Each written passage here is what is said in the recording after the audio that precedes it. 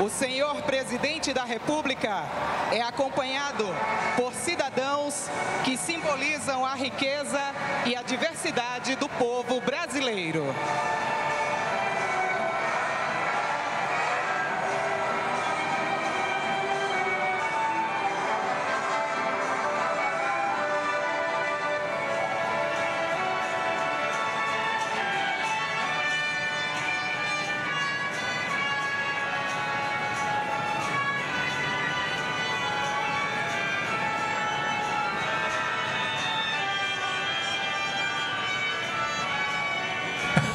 Tá aí surpreendente, portanto, a decisão de quem coordenou, organizou esse cerimonial de representar todo o povo brasileiro e também aí um animalzinho, ah, né? É a resistência, Renata? Roberto. É a resistência, essa Ela foi adotada, né, pela, pela primeira dama Janja, lá em Curitiba. Ela, a, a cachorrinha ficava ali em frente à superintendência da Polícia Federal. Durante aquela adotou- fase em que o presidente Lula esteve preso, né? Foi, ela, foi ela- adotada. Ela foi adotada, é a resistência.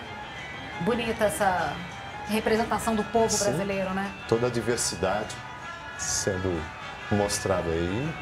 E é uma coisa que acho que agrada a maioria das pessoas Sim. que nos acompanham, porque o povo brasileiro, de um modo geral, é, é muito acolhedor com os animais, né? Sim, sim. E, e Foi é bem representativo. Realmente, a população de, de pets no país é considerada bastante grande mesmo.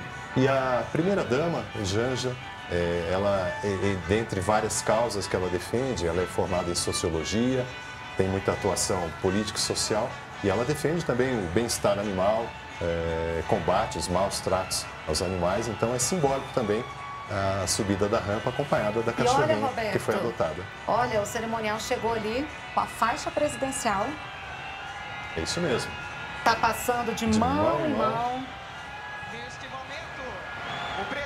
Presidente Luiz Inácio Lula da Silva recebe a faixa presidencial das mãos do povo brasileiro.